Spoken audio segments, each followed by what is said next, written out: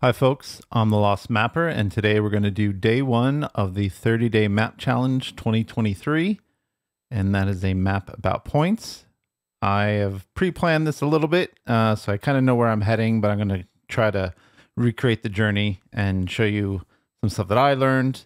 Uh, so we're going to do a map of the national parks in California. So I have a project I'm going to set up here, create a new project. I'm going to click save on it. I'm going to save that inside of my GS, GIS folder. I've got a 30 day map challenge folder, and in there I've got a folder for day one points. And I'm just going to call this day zero one points. I'm putting the zero in front of the one just so that when these get alphabetized, day one will come before uh, day 10 and day 11. We'll see that if we get there. Uh, I'm also going to head up to properties for the project and go to general and just call the project title day one points. I'm leaving out the zero because this is just the title. It's not the file name. I don't need to worry about that so much. Okay, then I'm going to head over to Google and I'm going to look for National Park Services GIS. And I'm going to head to their tools and data page here. And if I scroll down, I see that there's the NPS open data page, which is going to take me to their, their public ArcGIS REST service page. Uh, and I'm actually going to click on boundaries. And what I want is I'm going to get both the boundaries and the centroids of those boundaries. So that sort of center point of a, of a area. So click on the centroids file and I'm going to click download. There's 432 records. Uh, I'm going to choose shapefile because I right now feel like that's the easiest to deal with. I will head back to where we were. And I'm also going to get the boundaries in case I decide I want to use those. Also click download on the shapefile. And then I'm going to head over to here, which is my folders. And I'm just going to bring that folder in and then copy these files. It was trying to give them the same name, but it couldn't. And bring those into there as well. And then I'm going to head over to QGIS and look in my project home and into that folder. And I'm going to add both the shape and the centroids. And then I'm going to zoom in on the map a bit. And what would be nice is if I could actually see the states.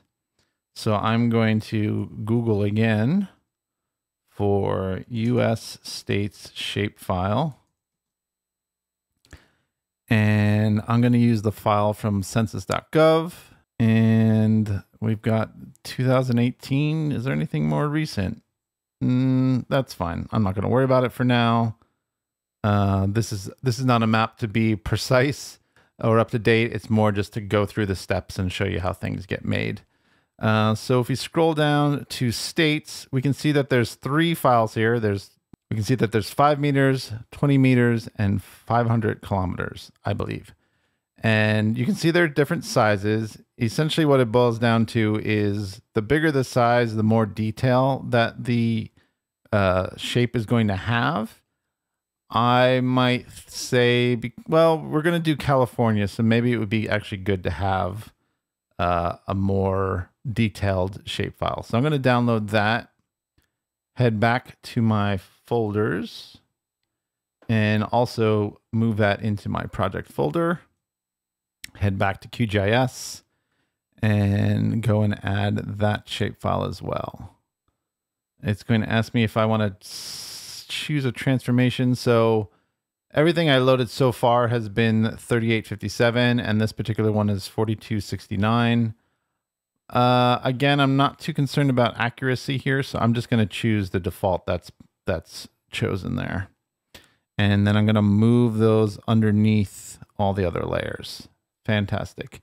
And then I'm going to zoom in on California. Great. And so let's take a look at the data that's provided. Let's look at the centroids. I'm going to press F6 to open up this data. Uh, I'm not going to worry about docking it today, but there is a bunch of stuff in here that I don't care about. And I'm going to use organized columns to get rid of a few of those things. So I don't care about creation date, who the creator was, who the edit editor or edit date is, global ID, area ID. I'm going to leave area code and unit name in. Don't care about date edit. Don't care about region, any of these. I'm going to leave unit type in and I'm going to leave park name in. So now I've got some data that I can read as a human. And so I can see that there are different unit types. And I know that I want to just look at parks. Um, and I'm going to filter this layer. So if I right click on my layer and choose filter, I then have the ability to filter based on any of the fields. And I am going to choose unit type. And what's cool is you can click unit type and then over on the right here, you can in the, in the value section, I can click all to see all the potential values that are in there. I'm going to say unit type is equal to national park and you can hit test to see to make sure that actually works. And it'll tell you how many results there are 62 rows that's great. And then i'm going to hit ok. And now i'm only going to see hmm why oh i also want to filter that to california. I was wondering why i was seeing other places. So i'm going to come back in here. I'm going to say and and choose state. And let's also see what possible values there are. You can check this box unfiltered, use unfiltered layer to show you all the values regardless of whatever expression you down have down here already. Click all. I'm going to choose California. Got to get that equal signs in there. Hit test again, and now I've got just nine rows. I'll hit OK, click OK again, and now I can see that I've only got points, dots happening inside of California. I'm also going to do the same thing with the boundaries. So I'm going to hit F6 again. Uh, let's organize those columns, get rid of most of them. Um, see here. They seem to be mostly the same except for a few additional ones. Hit OK. All right, we got our unit type again, and we've got our state. Cool. So I'm going to right click on the layer and choose filter again. And let's see, I'm going to do unit type equals, and let's just make sure it has the same values again. Yes, national park. Cool. I've got an extra quote there and state equals California. We'll click test Nine rows again. Great. Click OK on that. And we've got our state of California. We've got our park boundaries, and then we've got the centroids for those parks. And why don't we make this look a little bit nicer? These colors are a little bit weird. So I'm going to double click on the states. I'm going to go to symbology and I'm going to change the color. Let me see if I get a now I'll change the color to a light green and hit OK on that. And then I'm going to go to the boundaries and I'm going to choose a darker green for that.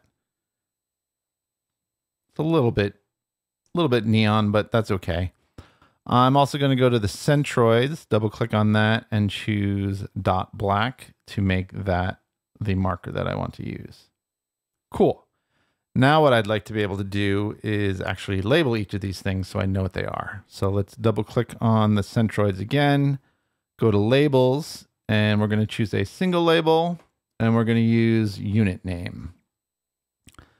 And we can now see those, but let's fix that up. Uh, let's make the font a little bit bigger And let's use a buffer so that it pops out from the background.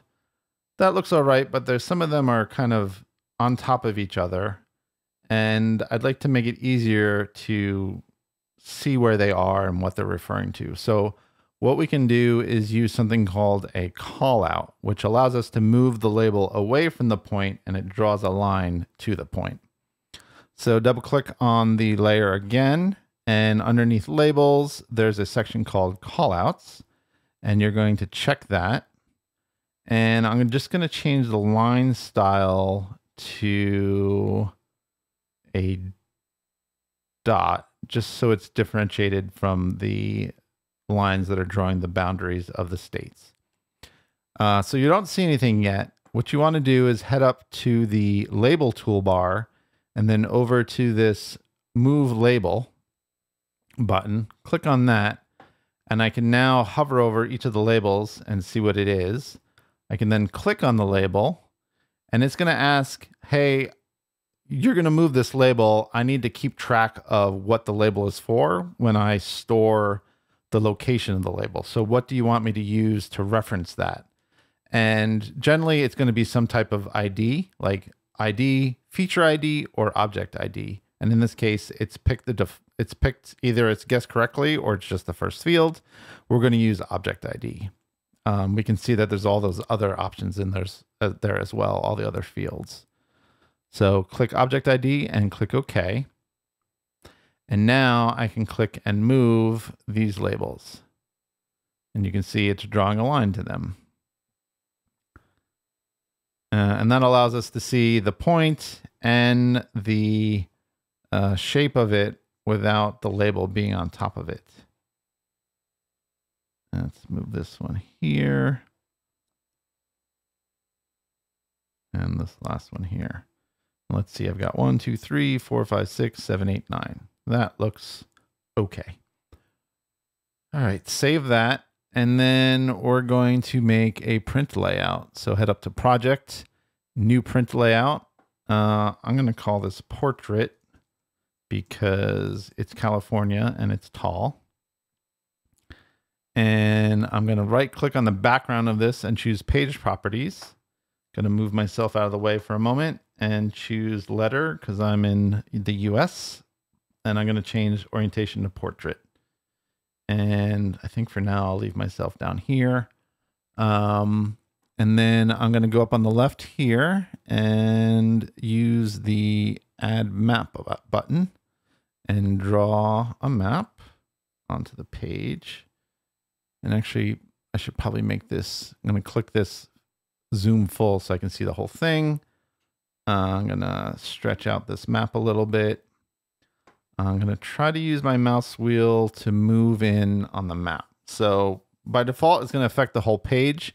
What I need to do is switch to this move item content tool. And then now I can actually affect the map itself, not the rectangle that it's inside of. Alrighty. Um, I'm going to go with this for now.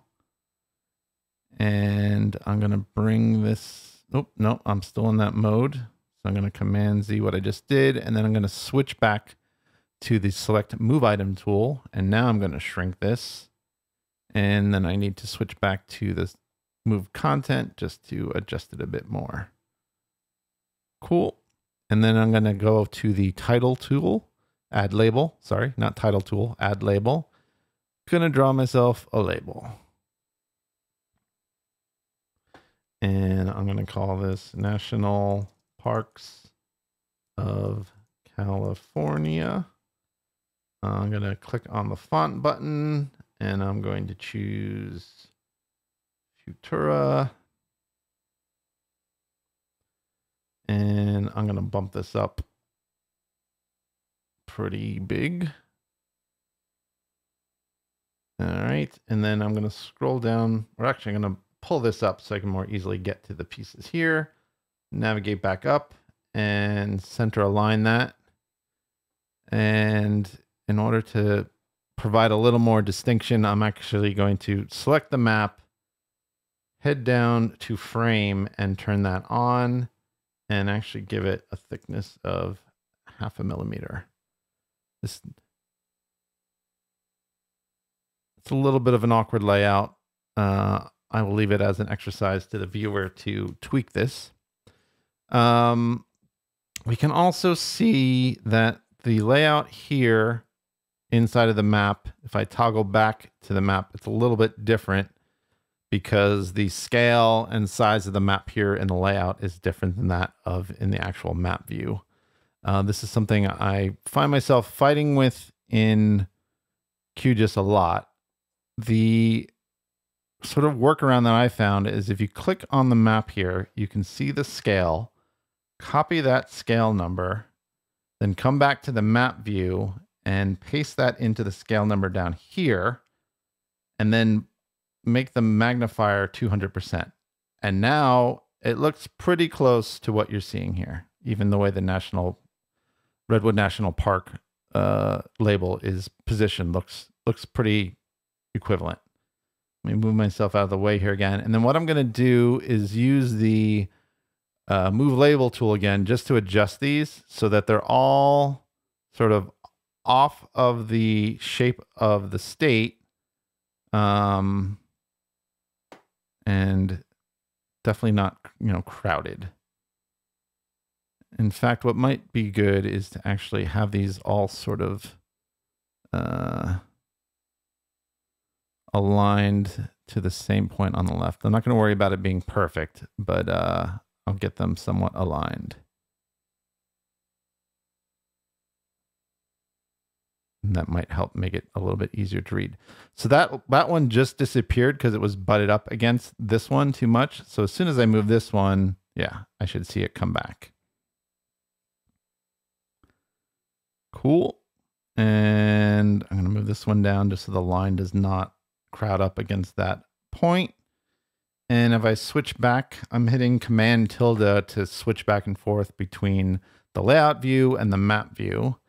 And if I click refresh on this, now they're way out. Why are they so far out? Why don't we move this map a little bit more? And now they're back. Fantastic.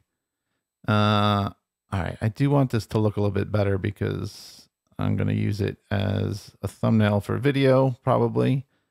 So I'm just going to move that up and leave that as is. All right, that looks pretty good to me. Going to save that. I'm going to click uh, export as PDF. And I'm going to call this day one points click save. I'm going to leave everything as is and click save. It lets me know that it saved it. I click on this to get it to real get to it real quickly. Double click on the PDF to open it up and command zero to zoom to full full view. And that is a quick points map showing the centroids and lo general location of these different parks. If you have any questions about what we did today, feel free to leave a comment. Uh, if there's anything you'd like me to dig more into in the future, also leave a comment. And I'm hoping to bring you another 29 of these this month. See ya.